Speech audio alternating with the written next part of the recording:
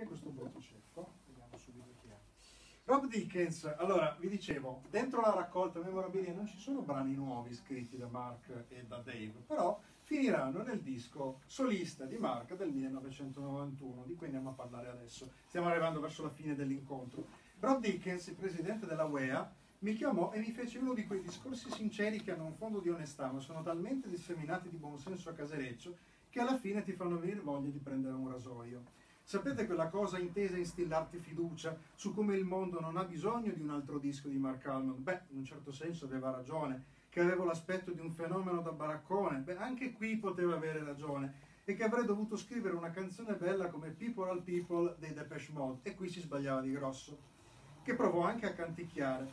Disse che lui giudicava un disco da ciò che pensava la sua fidanzata e da come suonava quando lo ascoltava in macchina.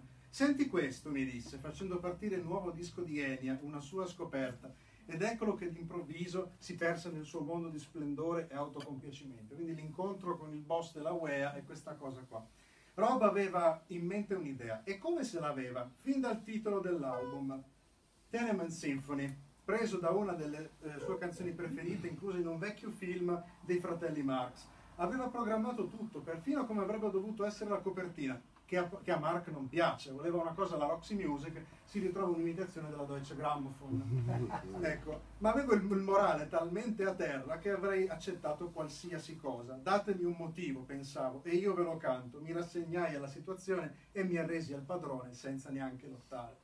Quindi questo disco praticamente contiene tre canzoni scritte insieme a Dave dopo tanto tempo. Meet Me in My Dream, I've Never Seen Your Face e My Hand Over My Heart che esce anche come singolo, ma visto che la storia si ripete, il più grande successo dell'album sarà una cover anni 60, ancora una volta. Uh, Days of Pearl Spencer, intanto come nasce la scelta? Il signore che avete visto prima occhialuto era uh, Trevor Horn dei Buggles, quelli di Video Kill the Radio Star, nonché produttore di uh, ABC, Grace Jones, Frankie Goes to Hollywood, era un po' il deus ex machina del pop degli anni 80.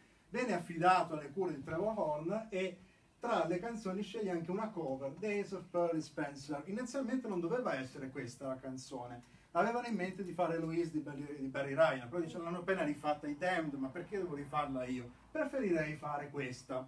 È una canzone che conosciamo molto bene anche in Italia, perché come sapete allora venivano tradotte in italiano e poi cantate dai nostri cantanti, quindi la tradussero Gol eh, e la cantò eh, Caterina Caselli come Il volto della vita conoscerete sicuramente tutti, e questa invece è la versione appunto di Mark dal, uh, dall'album Tenement Symphony. Il singolo arriva al quarto posto in classifica. Questa volta però incredibilmente ha imparato la lezione. Nel lato B c'è un brano suo, quindi dai, un po' alla volta ci stiamo arrivando.